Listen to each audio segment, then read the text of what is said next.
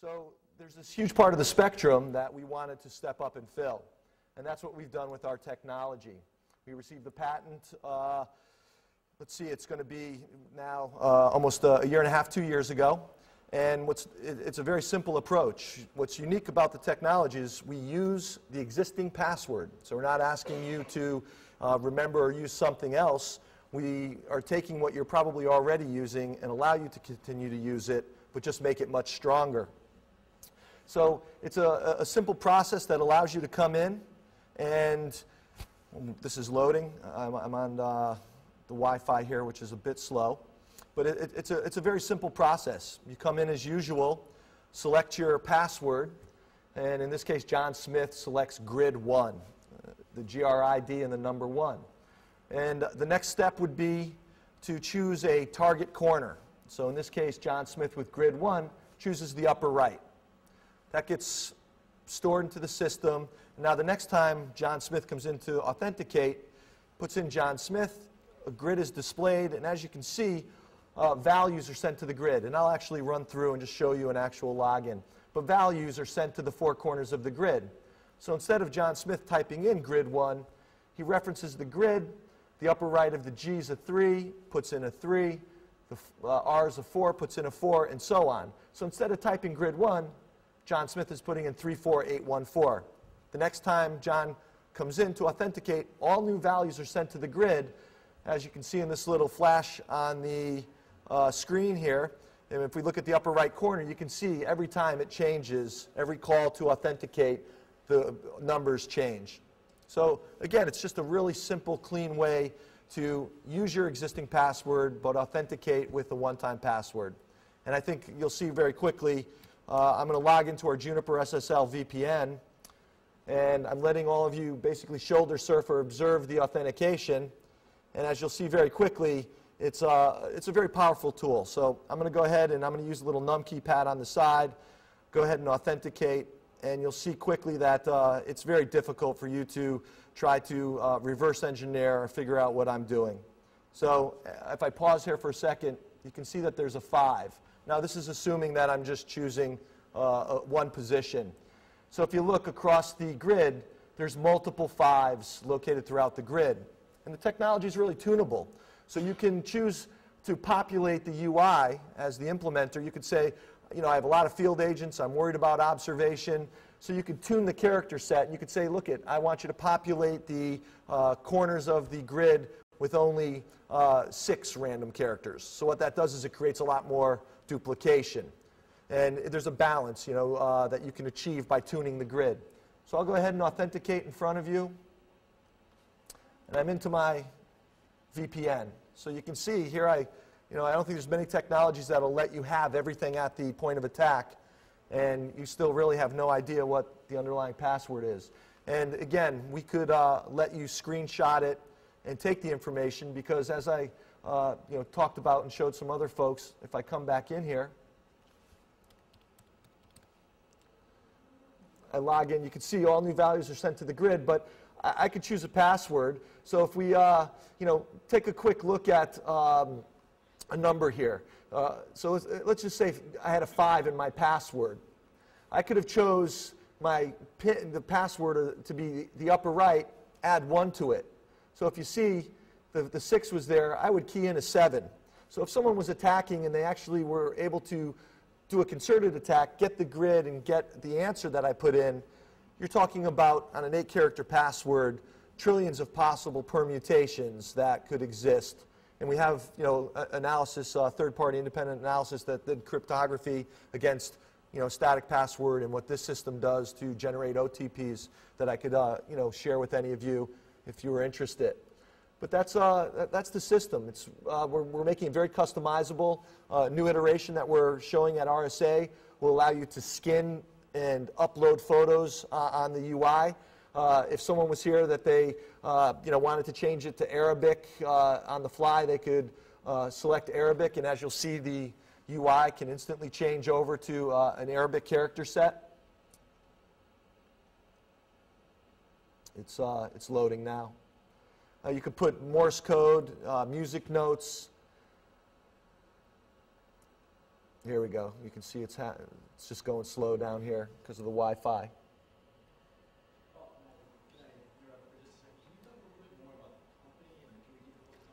Sure, sure. Uh, w- you, you can see it jumped over to Arabic, and again, you, you get it. It could be Chinese, kanji, Cyrillic, really just any character set. Uh, which, which, which is great because you know the two universal languages are mathematics and music, and this really uh, helps with localization that we have with existing customers. They can allow the UI, the same technology, to be used by different regions, different users, with it customized for their authentication. Uh, yeah, the uh, the company uh, has been around uh, you know two years.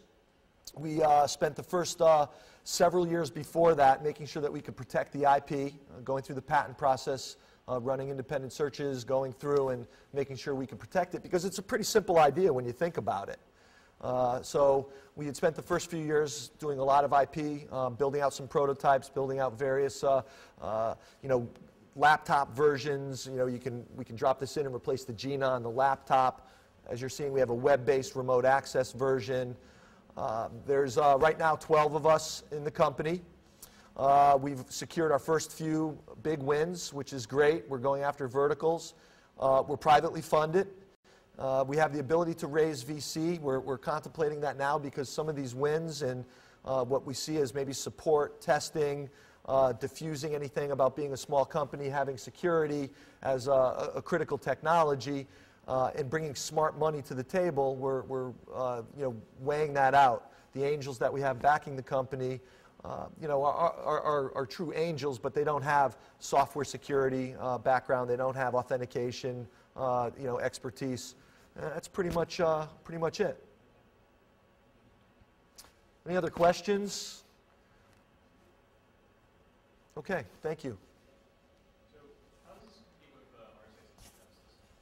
Say that again. RSA's. Uh, well, I'm not sure they have uh, the SecurID. They have uh, uh Go ID. They have which which is is that the soft token? Uh, so you, you, go into ING Direct. Okay. And then um, you type in your customer number. The second page is a picture of something you selected on a keypad. Where you, you oh, SiteKey. So, uh, yeah, yeah. Um, yeah, that, that, that, that, that, that's SiteKey. Okay. Yeah, um, we're exploring licensing opportunities with them right now. Um, we have a patent on this, and uh, they're now exploring licensing. Theirs is a one-to-one mapping. It's very easy to just observe. So if you look at our keypad, um, if you're used to the ING account, I think this will resonate for you. So we've done the same thing with uh, uh, the technology, but what we've done is we've created a much stronger approach because, again, if I see you at, on the ING, um, you know, that the keypad, the, the, I'm not sure if it's A uh, are, are, listed on the keys and the one. For whatever reason, it's like basically you do own the IP and do not own the IP on that. Correct. Correct. Okay.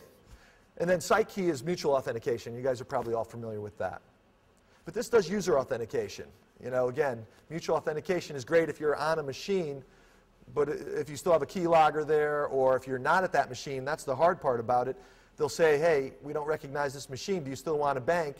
You say yes, and they ask you static knowledge based questions that, again, once compromised. I think last year at RSA, you guys know that someone had set the kiosks to uh, store the browser information, and people were actually logging into the kiosks and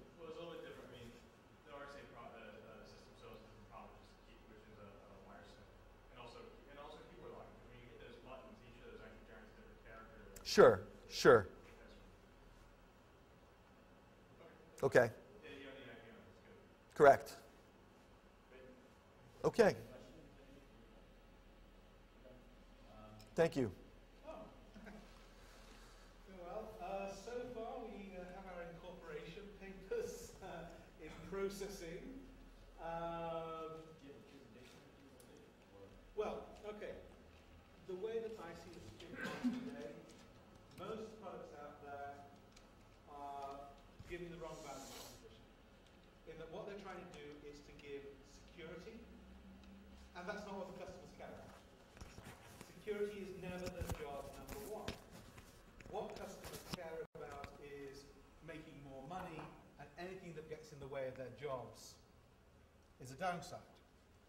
Now, if you look at what happens to a lot of security software, it turns into shelfware. And there are a number of reasons for that. And one of them is they're just too much trouble for the end user to use. Uh, if you look at, if, if you've got a security product and the user is not obliged to use it, the chances are that they won't unless using the secure product makes their job easier.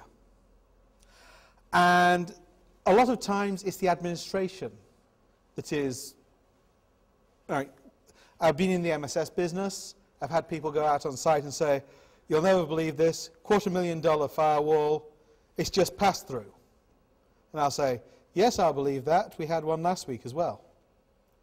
And so, what I'm thinking about, oh, the other problem with a lot of startups is a lot of security products are built around a business model, not a customer need. So they work out how they're going to make the money from the product first, and then they work out the product around it.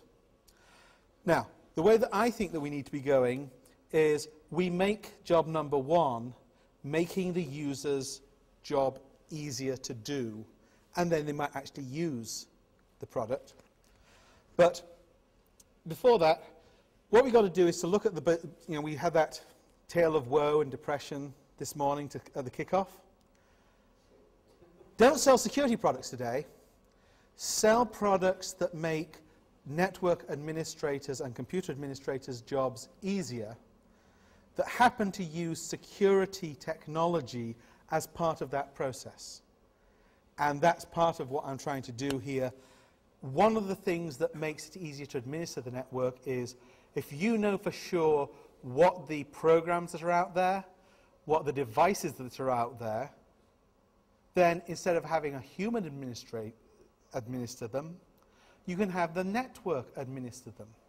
Because you can authenticate the commands going out, you can authenticate the communications coming in. And what that allows us to get to is a security posture called default deny. And the idea is, in a default deny network, nothing happens without a reason for it happening. So you take this laptop, you plug it into the Ethernet port, nothing happens unless there's a policy that says this is allowed to connect. I take the coffee maker, plug it in, nothing happens unless you know, it says, okay, I'm a coffee pot, here's my MAC address, I need the NTP service, I need the I make coffee service, and it gets those and nothing else. So the idea is a very tight lockdown on security, but that tight lockdown is enabled by the information and the authentication that's provided by the, the, uh, the support technology. So it's a bit complicated to describe it in one go. I describe how to do it in more detail in there, and I'll spend some more time over the next few years making it a product. Uh, so, uh, just out of curiosity, are, you are you placing emphasis on on uh, make sure I say this right on a on a roles based set of security protocols and controls, and how does that relate to um, constrictive controls versus facilitating controls, if that, if that makes sense. What, what I hear you talking about is uh, uh, security wrapped around roles within the business. But I, I, also heard you say that, that folks are worried about business models they approach versus the, what the customers really want. Well, uh, my, from my experience there, they should be one and the, the same. But I, am hearing a lot of talk about uh, roles in a business building a security model to, to help that scenario, but now you're talking about the, the, the user satisfaction, which in a business, in a, in a typical business environment, the users being happy versus the roles of the business are, are two separate things, and the controls are, are built entirely different manners. Well, one of the things that comes up is why, why does the IT department have to grab so much control from the user? And that is when you put a machine on your, you know, if I put this if you put a laptop onto a network, it's got a processor here. It will run software that's downloaded from the internet that comes in on CD-ROM. That is a pretty powerful machine, and that is always going to be a serious source of vulnerability. And so there's a certain amount of risk that you uh, apply. Now, today, when you plug in a printer, the only two things legitimately that that printer could do is to receive an instruction to print and to send out a plea to say, help, help give me more paper or toner or whatever.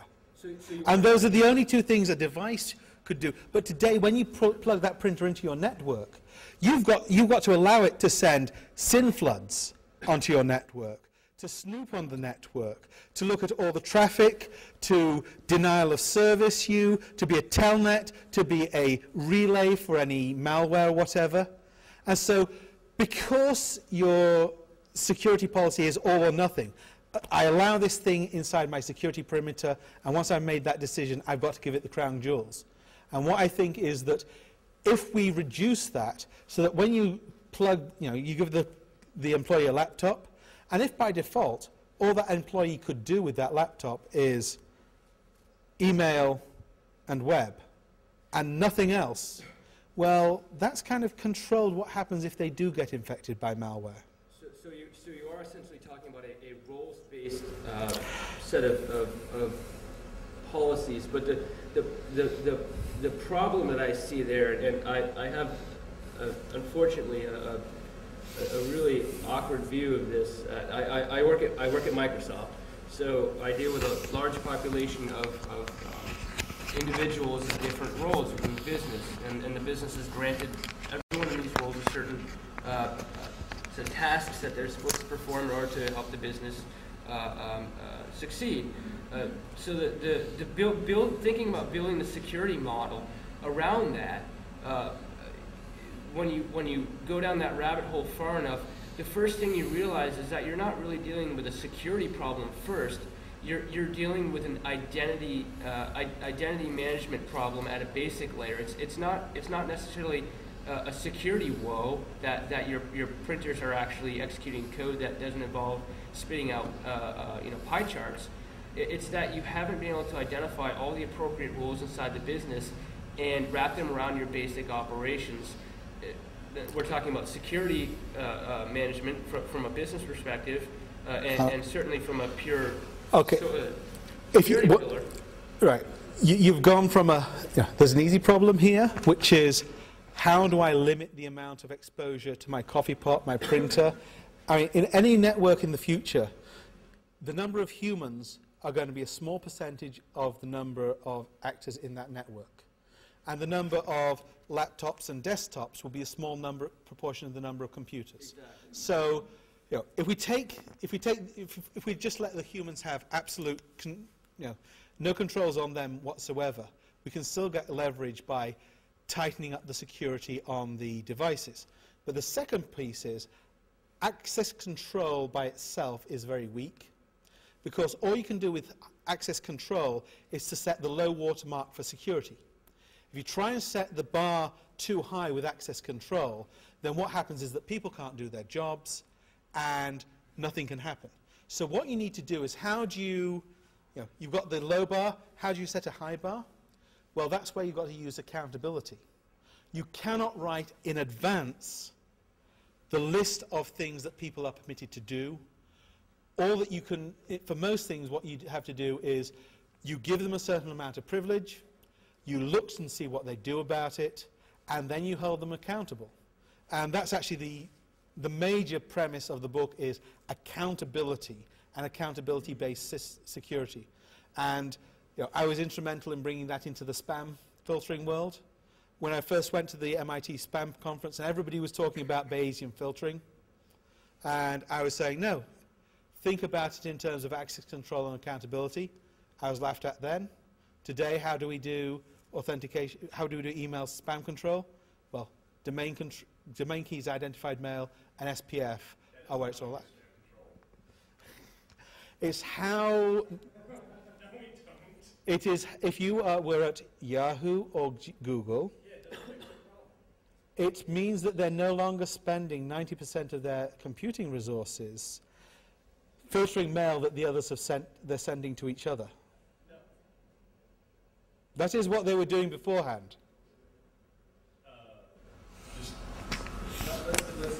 Yeah.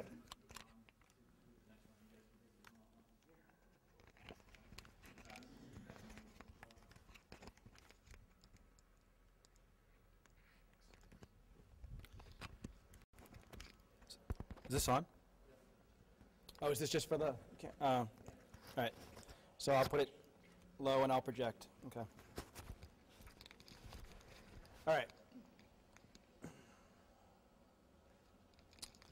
My name is Rob Sheen. A lot of you know in the room know me, some of you don't.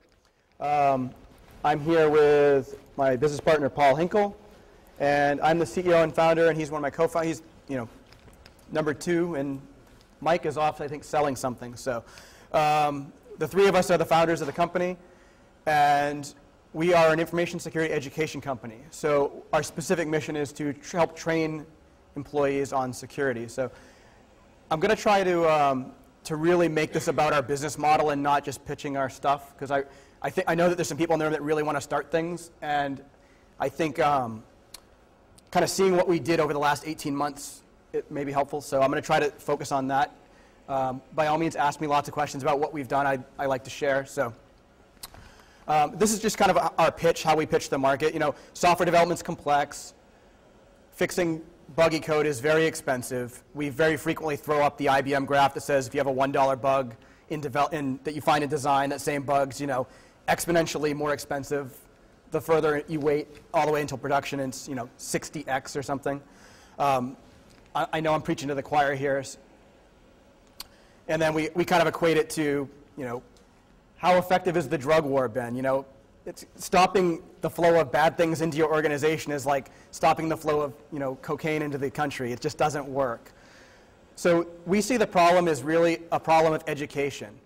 You know, the, the, um, the genesis of this company was I get sick of going to RSA every year and seeing another vendor selling another authentication module, another smart card. No offense if there's anybody in the room doing that or anything like that, but there, we have enough damn products, guys.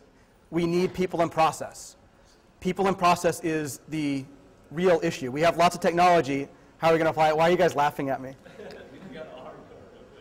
Sorry. What was your solution to stop going to RSA?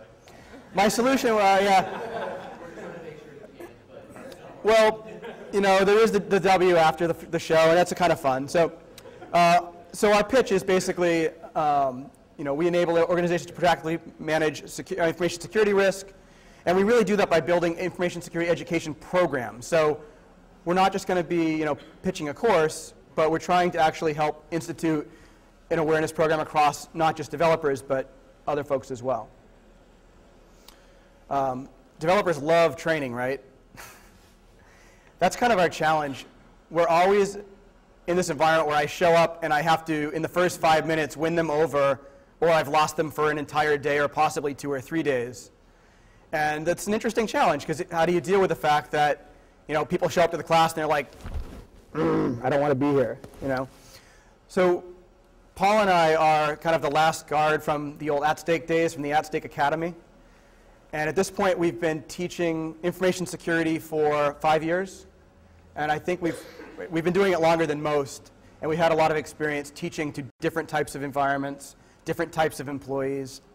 You know, I've literally shown up and had the guy in the back of the room with his feet up on the desk reading the Wall Street Journal.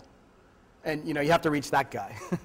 um, one of the things, I mean, over time, we've kind of worked out some interesting formulas for this. And I think that's one of the things that we've found that's our niche that allows us to be successful in this space is that, you know, we're able to go into a room and pretty quickly command the audience and say, you know, here's why it's important. You know, we'll spend the first half of the first day just scaring the hell out of them just because if you don't do that, they're not going to respect what you have to say. If you just say, thou shalt do this, and this is just anybody that wants to communicate security, thou shalt doesn't work. They're like, I don't care, I don't want to hear it. They put up this big wall between you and them. Um, we've also been trying to recently innovate in this space for instructor-led training. We actually offer instructor-led training and e-learning. And e-learning is a fairly new thing, but from our business model point of view, it's not. You know, we went into the company starting this thing knowing that I've done the services thing, I saw the at-stake model, I saw that services doesn't scale so good. You know, if, you have, if you're trying to build a services company, you have to scale, you know, one extra unit of revenue is one extra headcount, and it always kind of works that way, more or less. And, um, and then obviously you have the turnover problem where every two years you lose an employee that has a lot of mind share, and how do you deal with that? So we went into this knowing that ultimately training is going to become commoditized. It, it is on some level already, but for what we do, it's, we've been kind of shielded from that a little bit. And, but as we, as we start to shift into e-learning, where that's, that's where it's going, whether we like it or not, so we've decided that we're going to be at the forefront of that, and we're trying to really innovate in this space. And uh, when we started building our e-learning, the things that were out there that we saw, I don't know if I haven't probably looked at everything, but mostly it was PowerPoint slides with voiceovers. And you watch it for two minutes and you just start drooling on yourself. It's just painful. So we tried to, uh, we set out specifically with the goal of making it fun, making it interesting and not painful, and trying to, as best as possible, replicate what we do in the classroom on the computer. And, you know, I think we've done a pretty good job of um, managing that. Oops. So th- this is kind of, these are some of our courses that we have to offer. Again, this, I'm not here to pitch anything other than just here's what we have to offer. Um, again, we started out just, we essentially had a fundamentals course and a, secure, a generic language agnostic secure coding course. But from the beginning, and this is just one of those interesting things as you're, as you're starting a company, you know, map out where you want to be in two years, five years. You know, the first thing I did was I sat down at one of the RSA conferences with their notebook, opened it up, and I started mapping out what's the mission, what's the vision. And I actually, this is an interesting exercise to do. I said, if I wanted to, you know, because at this point, you know, starting a company is scary as hell when you haven't done it before from scratch. And I'm looking at like literally walking off the, the precipice into nothing. And I'm like, well, if I just wanted to make $100,000 a year, you know, how, what would that look like? What would $250,000 a year? What would $500,000 a year look like? And I actually mapped it out in the notebook all the way up to 25 million, just to see what it looked like. Just one page per, per item, just for fun. And it was just, just to start to craft what the vision would need to be in order to get there. And I think a lot of people that I see and talk to that do startups don't do that. They don't take the time to design what they want to build first. They just start go, go, go, go, go, go, go. And then the next thing they do, well, I don't know what to do about this economy thing. I didn't plan for that. Right? So we've tried to really address those things up front by designing it that way from the beginning. Uh, this is just a screenshot of our e-learning. Uh, if we have a few minutes, I might show you 10 seconds of it just um, to give you an idea what we're doing. If you want a full demo, we're going to be here the rest of the week. Please ask Mike for a demo. He'll, um, he'll be more than happy to give you one. Um, this is a, we actually did this slide probably about a year ago, so it's probably a little bit out of date. But essentially what I want to show is just, we went into this knowing, you know, our existing clients were already in financial services, so that's a, that's a no-brainer. Um, but we kind of went through the obvious people that are going to need security first and take it seriously first, right? Because you know, if I, you don't want to sit and waste a lot of time trying to sell to people that aren't buying. So we, we looked at who's buying and kind of went in that route. I mean, the way I look at it is every single person on the planet that uses computers needs to know about security because I don't see how we're going to make the problem any better anytime soon otherwise. I really do think that it has to be everybody's job and everybody needs to play a part. So the vision for the company is, you know, we started with developer training because that's what we were good at and knew how to do already. So we've been bootstrapping with that, right? So bootstrap with what you're already good at, especially if it's a service. That's, you know, a great way to get the cash flowing in. You know, we made a goal when we started the company, it was June 2007. And we said, all right, you know, we're going to each have to put in some money and not take salaries for six months, which I got to say was a little nerve-wracking.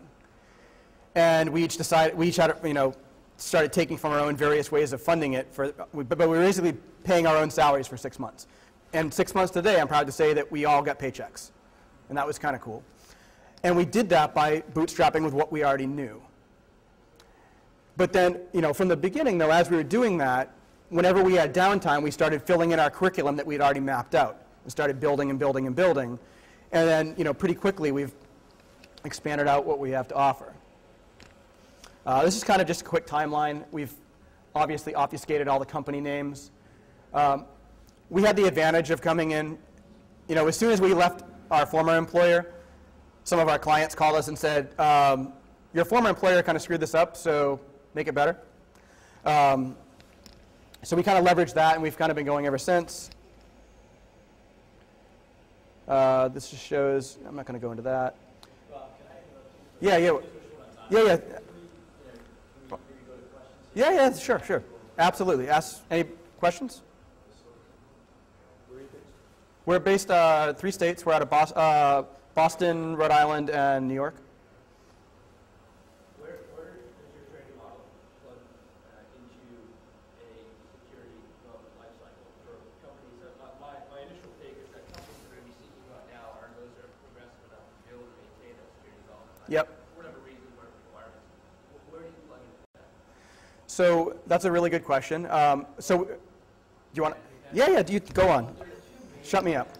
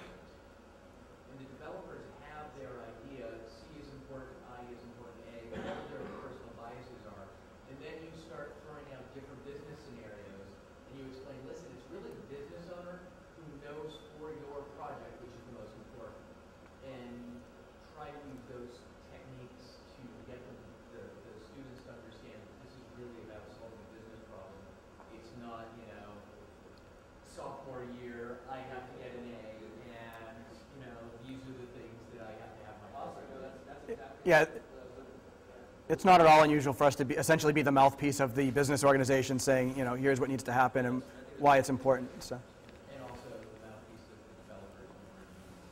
Yes, going both. Yeah, we help bridge that both ways. Any other questions?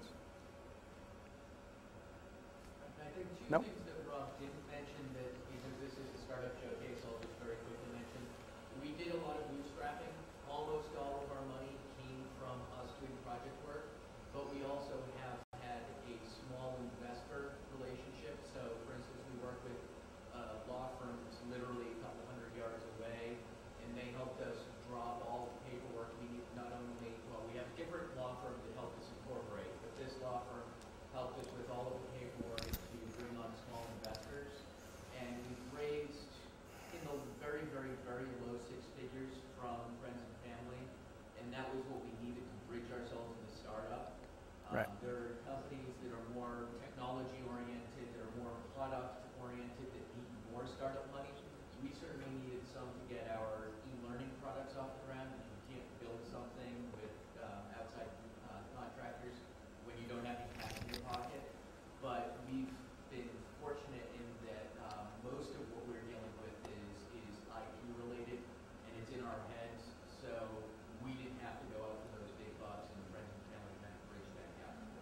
Right, we definitely didn't want it. We tried to avoid VCs like the plague because we didn't want to give up 80% of our company for nothing, so. And you worked at at one time. And I worked it at stake at one time. So.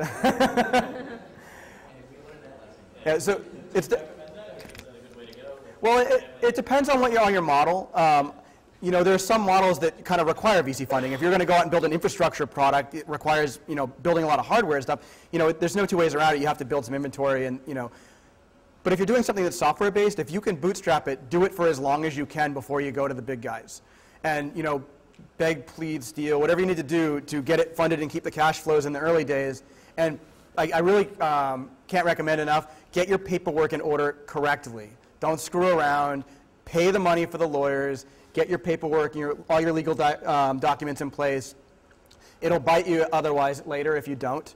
So just do it right from the beginning as best you can. Trying to become Secretary of Commerce and, uh, you know, you haven't paid your taxes, it's fine. Any other, any other questions? Uh, where, you mentioned earlier the uh, issue of the hot employee with leaves. Mm-hmm. Where does the, where is the brand equity being established to? Is it being established in the company, or is it being established in people that are appearing in videos? And the reason that I think it matters is, that you- is that the answer to that question will determine whether you are a content company like Disney Right. or a publishing company. Right, that's a really good question. So ultimately, what we're trying to be is more like Disney, right? Because one of the things that I see as a big issue, and we all see as a big issue, is that, you know, security folks don't tend to talk like business folks and vice versa. And we, we're pretty good at bridging that gap. That's something we're good at. So we're leveraging the fact that we're good at that to be that, mid- that translation layer, so to speak. And, you know, we really see ourselves as a content company like Disney, ultimately. And, and so we use Flash instead of people's faces, we use voiceover artists Right. instead of doing the recordings ourselves. Those weren't conscious decisions to minimize our personal exposure in terms of recognizability, but they definitely um, were part of the vision of creating content that stands on its own instead of, you know, building up Paul's brand and building up Rob's brand. Yeah, this was not supposed to be the, the Rob and Paul show. so, any other questions? All right, who's next? Thanks.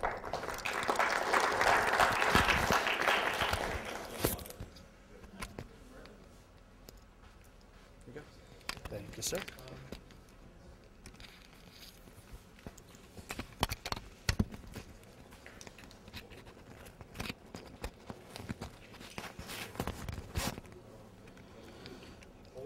Talk about, you know, not giving away um, eighty percent of the company is really nice. It's, it's natural to want to keep a lot of the company for yourself, but hundred percent of nothing is still nothing.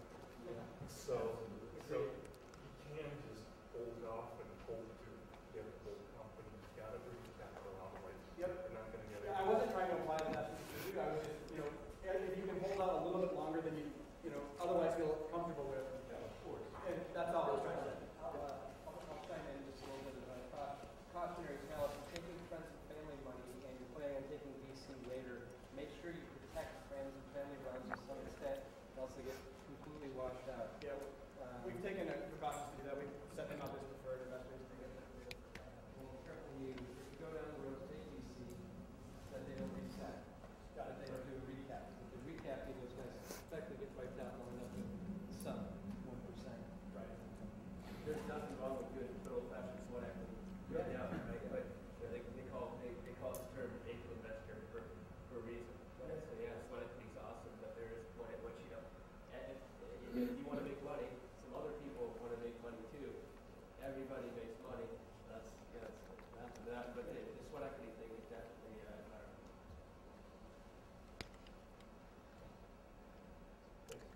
Cool. Um, well, Rocky DeStefano with Security. Um, I'll give you a little bit of background about the people in Security, and then I'll talk about our business model. And then if you're interested, I'll tell you what we do. Um, Paul Davis and I are, are the execs at Security. Paul Davis is running around here somewhere. Um, his background is he ran global information security services for Unisys. He was also um, with me at EDS, where he acted as the CSO for a couple of Fortune 50 organizations. So he's got a really good background at a high level. Uh, my background is, is much more humble, I guess. Um, I started in the Air Force as an intelligence analyst, came out of there and worked at AFCERT as an incident response member of AFCERT, and I worked with people like Rich Bejtlich, who's, of course, running incident response for GE, who I'm good friends with, and uh, you know, folks like uh, Chad Renfro, who runs information security for Bank of America now, and I felt like, you know, I was left behind here. These guys went out and did all these awesome things. But I had some good opportunities. I went out of AFCERT and created two MSSPs, one for a startup company, uh, the other one for EDS. I ran EDS's MSSP out of Virginia uh, for their federal and Fortune 50 clients. Out of that organization, though, I was looking for ways to automate and become more efficient. And I really ran into SIM and saw a lot of value in SIEM. So out of EDS's MSSP, I actually jumped on board with ArcSight and was there for four and a half years or so. And in that time, I went through the consulting ranks and, and basically managed the consulting team for ArcSight for a number of years. And out of ArcSight, I said, you know, there's got to be a better way to do this. Um, ArcSight's awesome, log management, these tools are awesome. Uh, SIEM is really powerful, but we're not building a lasting relationship with the client. And in order to be successful with these clients, we have to build a lasting relationship because their needs are changing and we have to adapt. So I started my own company and just really started as consulting, building security operations centers, because that's pretty much what I had a background in with the MSSPs. And I got very, very lucky. And I'll reiterate that over and over again. I have been extraordinarily lucky with the clients I have. Out of the gate, my first clients, Best Buy and the U.S. Department of Justice, GE, Northrop Grumman, building their security operations centers from top to bottom.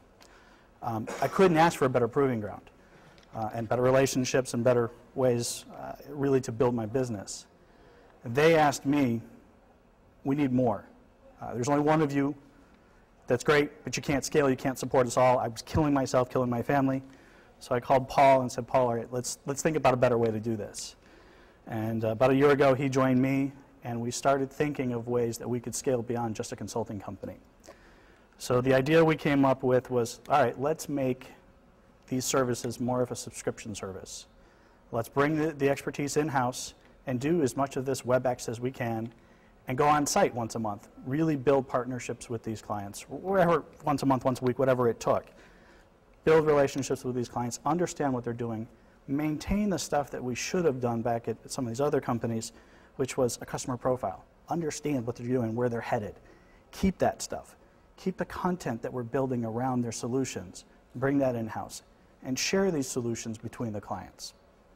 Really, I mean, simple, scalable stuff. What we found is the clients are saying, that's awesome. Build it, make it bigger. Show me how to really make log management and SIM work. So we're, we're very niche. Log management and SIEM is really where we, within a security operations framework. I'm not even at the point now with the company that I want to focus on compliance. Because honestly, I think people that buy these products directly for compliance are fighting a losing battle to start with. I want to focus on security, and, and my company can do that. Um, we've been lucky with that. So, you know, we started this thing totally bootstrapped, no, no investment whatsoever, with a consulting organization. That was easy, right? I mean, that's pretty brain dead simple. Now that we're growing and becoming more of a subscription-based provider, um, you know, we look at the money and look at and say, okay, maybe we should look at listening for money, or maybe we should look at the people that are talked about acquiring us to see if we can scale. We know we have something. We know it has a limited scope, but we know we're laser focused on that scope. And we know our competition because I trained most of them uh, in previous lives, and we know them very, very well. We partner with our competition in a lot of cases. And in some cases, our, our competition is really the vendor themselves who sub work to us. It's a very strange little market we've, we've wove ourselves into. Um, but when it comes to log management and SIM, more and more companies are coming to us. We're, you know, we're this little tiny place, and they're saying, help us find the right tools for us. Once we get them in place, help us manage them. Help us rebuild this content and make it work within our organization. And we initially set out and said, okay, great, you know, this is a one week or one month relationship. every single one of our relationships is minimum of a year long. Uh, it's not short term. So th- that's the really thing we focus on is true partnerships with these clients. I don't want 10,000 clients. I would be thrilled with 100 fascinating clients that we can really scale and partner and grow and make be that trusted partner in SIM and log management, incident response, security operations, and grow within that. That's kind of who we are, where we started, and where we're going. Simple enough. Questions? No questions. How did you, how did you decide to start? You know, I mean, how did you, okay, today I want to start a company. What was that thought process? What made you So, so um, let me say this carefully. I, I let me be careful. All right. So I like ArcSight. Um, I really, really do. They, they do wonderful things. They did a hell of a quarter last quarter. I mean, there are lots of lots of good stuff there. I wanted to focus on customer service first and foremost. Um, they wanted to focus on billable utilization. Um, it's fine. I felt that as a software company, they should really focus on building services to support software. They said, no, we need to be profitable in both areas. I said, okay, I'm going to go start my own and be customer or service oriented um, however I can be.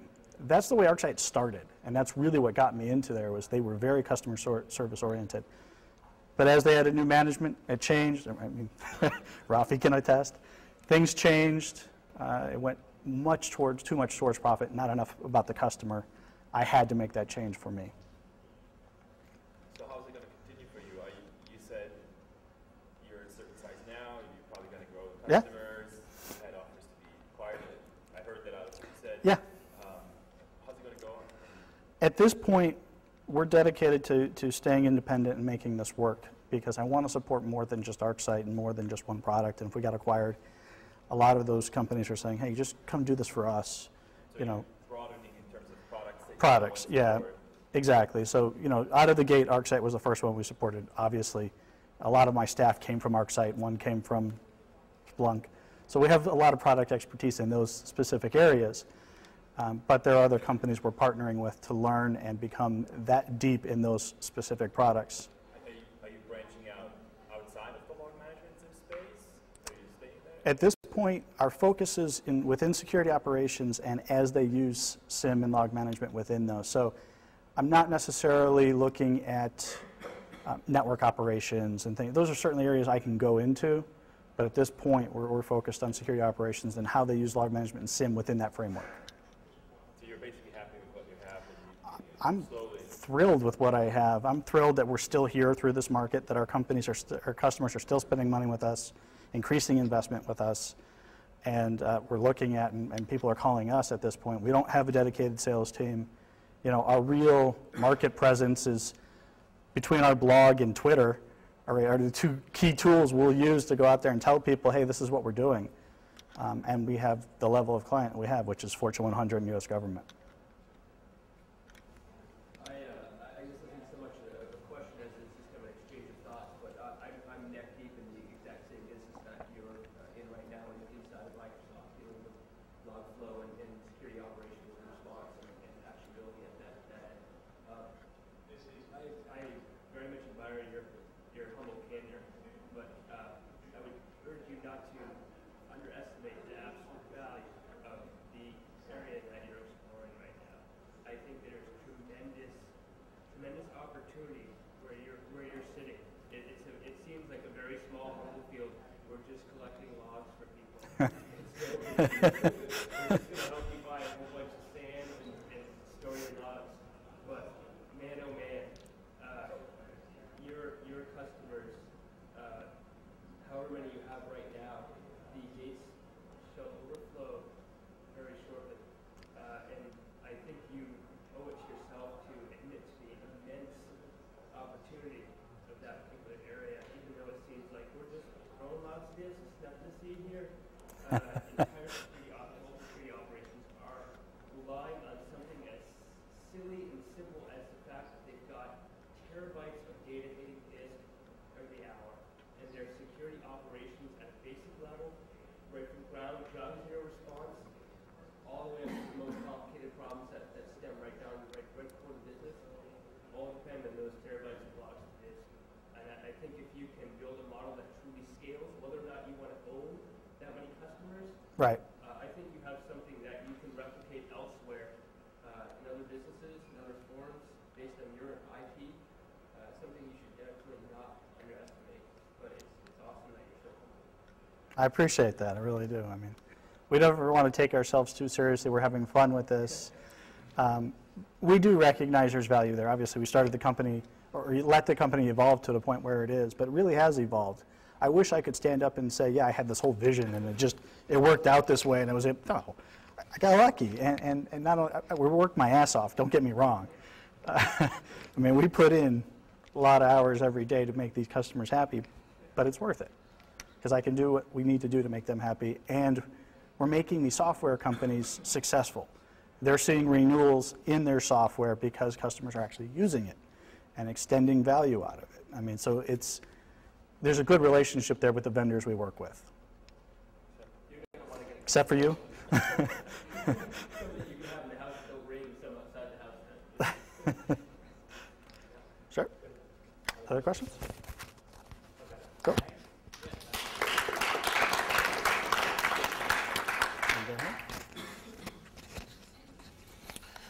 I promise to not talk about technology or products at all.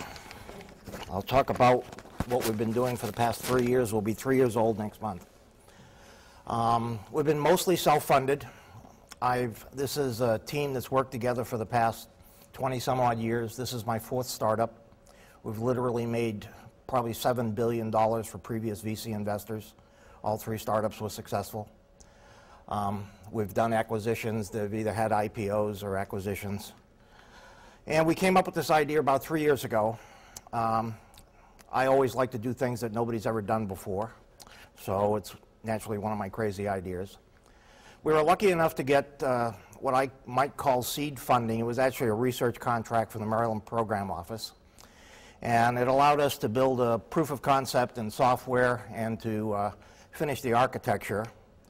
It also allowed us to take advantage of some intellectual property that they own in combination with IBM. IBM actually builds the intellectual property that they have ownership rights of.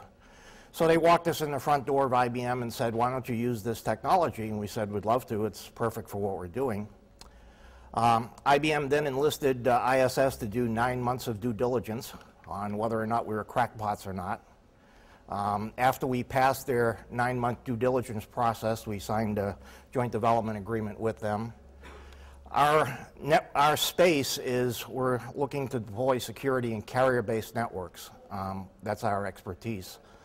And uh, we talked to 14 carriers as references. We uh, have a lead VC who spent nine months doing what I call gold standard due diligence. He was on every single customer call. We've met with Ed Amoroso of AT&T and Verizon Business, Wag Leitner, and all those people.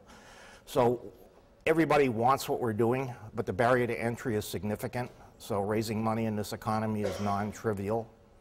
Um, we think we're at a point where literally on March 30th, we'll, uh, this lead investor will have a partners meeting and hopefully the pen, which has been in his hand over the checkbook for much too long, will finally touch and we'll see some ink and uh, things will happen. So that's about it. Now you can go to the bar. I know I'm waiting. What is it that you do? I can't tell you. Security and carrier network, something that's never been done before, in a way that's never been done before. Which part of the carrier networks? Layer 2, layer 3, void? All of the above at 100 gigabit speeds. Are you going to stop the telemarketers? no, we don't do that. You're not, you're not worried about the changing landscape and, and the, uh, the potential, uh, I don't want to call it conflict, but, uh, corporations kind of taking, taking the carriage back into their own hands, uh, u- using IP-based telephony solutions versus a traditional model? That, that doesn't, Do you think that's going to happen? I don't think so. I, I, I mean, I, I don't want to, I don't want to go into my personal beliefs on it, that- but I'm just kind of wondering, have you thought about that?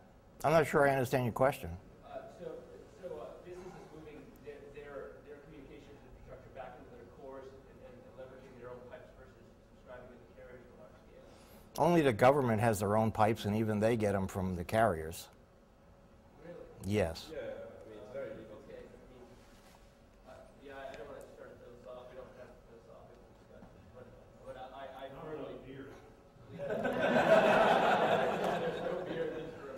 That's like saying we're going to put the internet back in the closet and not use it anymore. No, no, I'm, I'm, I'm- I'm literally talking about folks building their, and folks are, believe it or not, building their own pipes, and, and it's going to Google it. Sorry, sorry, that's Google it. No, no, there, I mean, there are a lot, there- Now, there's, yeah, I mean, there, there are, there are there's definitely. a club. Yeah, there is, there's a, there's a club, but you know, I mean, you know, all the guys that do the internet to get cheap services like running IPsec VPNs and so on, they're also moving back to these lines and getting higher bandwidth with SLAs and whatever, you know, That's- in that's the absolutely- ten hundred gig range. you know. Yeah, that's absolutely not, not, not true with the advent of, of of clever, clever new protocols that are out there. And that, they're on a, on a large enterprise scale, that is, that is largely no longer the case. But I, again, I don't, there's no beer, There's right? Zagia, I don't believe it. But, I mean, I just wondered if that was something that was uh, flagged as a risk in your business model, if you've thought about that, or? We don't see it at all. I have a quick question. How do you secure VC funding when you have a technology that you can't really talk about? I mean, is that an NDA process? No, we, we talk about it with VCs, you know, but we're in stealth mode at this point, so, I mean, yeah, In, in your, yeah.